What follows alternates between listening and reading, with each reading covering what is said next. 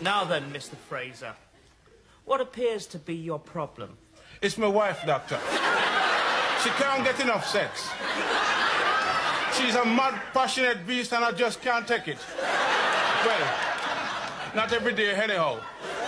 So you say, um, she can't get enough? Do you suspect that she's having affairs with other men? No, doctor. She never stays out at night, but she never goes to bed without requesting that I give her her medicine. I see. She makes love to me seven times a day. She's insatiable. I'm at the end of my tether, doctor. Yes, yes. I quite understand. Take this. Glasses, doctor? How are glasses going to help me? They're for your wife, Mr. Fraser.